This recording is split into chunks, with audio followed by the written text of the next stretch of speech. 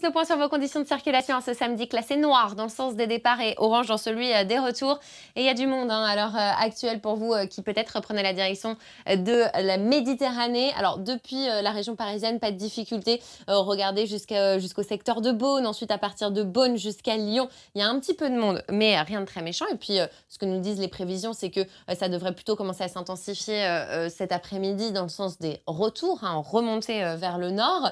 Mais regardez, en vallée du Rhône, pour le coup, vous avez des difficultés, alors assez euh, attendues, hein, c'est sûr, entre Lyon et euh, Orange. Regardez, vous avez euh, trois bonnes heures de difficultés, puis ça commence aussi à s'intensifier en, remontée vers le nord. Pour ce qui est, regardez, de l'A61, l'axe qui relie Toulouse à Narbonne, vous avez une vingtaine de minutes seulement de difficultés en direction de la Méditerranée. Et puis d'après ce que nous disent les prévisions, eh bien ça devrait s'intensifier dans le sens des départs, il est vrai, sur l'autoroute A7 en direction de la Méditerranée, mais dans l'autre sens en remontée vers Lyon. Et puis sur l'autoroute A9 et sur l'autoroute A8, on devrait encore avoir un petit peu de monde dans les prochaines heures.